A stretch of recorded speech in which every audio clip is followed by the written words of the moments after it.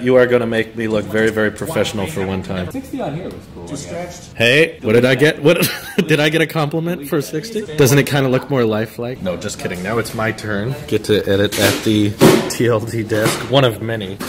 Should be very interesting. This sounds great.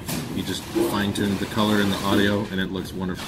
So you get one good video ever. All right, so ladies and gentlemen, sounds like Morrison is being very, very up for all types of collaboration videos. So the first one we've done that uh, I actually just finished was he set up the camera, set up the audio, and set up the lighting for our very own Tailosive Tech video, given the uh, the leaks surrounding the new Apple Watch that is seeming to be pretty legitimate. So I just edited that video, and that should be up soon. By the time you're watching this, it's probably up by now. We've got a couple guys in the studio. One's Dom, photographer for Instagram, and someone going upstairs, just checking out the awesome set that you guys may have seen from his channel, but I get to see it in person. So lucky me. There's the man himself.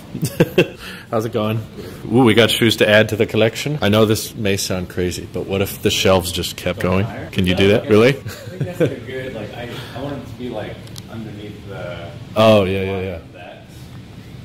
Gotcha. So you can like kind of reach it. Yeah. Unless you want it to be like a library with you have like a ladder Yeah, that could ro- do, like, ladder out. I think that's maybe- every time they get the shoes.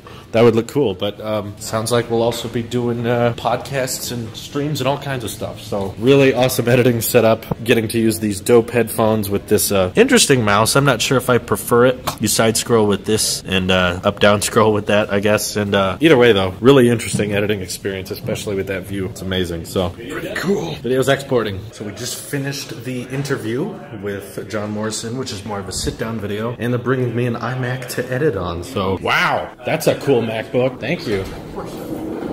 All right. When he would be color correcting or editing the audio and stuff, we just got to sit down and get to know each other better. And I'm really glad that I'm not the kind of guy that was going to be starstruck at all moments and be shaky and be nervous whenever John was in the room because I haven't really had a lot of up close personal celebrity encounters other than like the Marques Skype call. So I was really worried that I was going to be all fanboyish and scared and nervous the whole time. And I was able to relax and he was able to open up and he's just an incredibly nice guy. And I'm so thankful that he watched my videos and invited me out here because it's been seriously like a load, loads of fun. So hopefully that was interesting for you guys. You can get my take on the TLD studios and be sure to check them out if you haven't. Thank you guys for watching and I hope you all have an excellent day. Take care.